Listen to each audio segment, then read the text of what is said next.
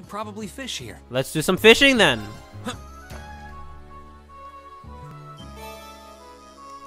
oh, let's fucking go! I've been waiting for this! Fuck, Laura! This is even better!